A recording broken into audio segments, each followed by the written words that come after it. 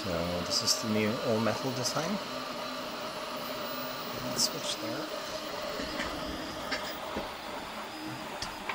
And this is the back of it.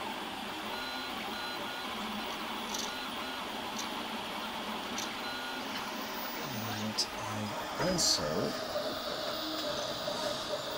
let's see, I uh, moved the guiding rods further to the outside, which gives a little more experiment.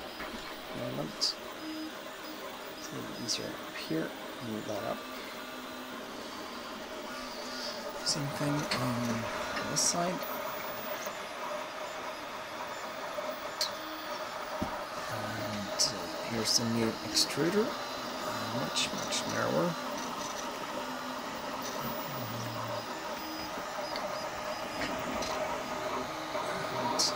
West Burke?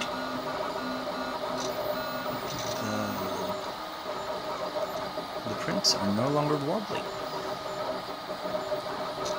In fact, looking beautiful. So, to focus.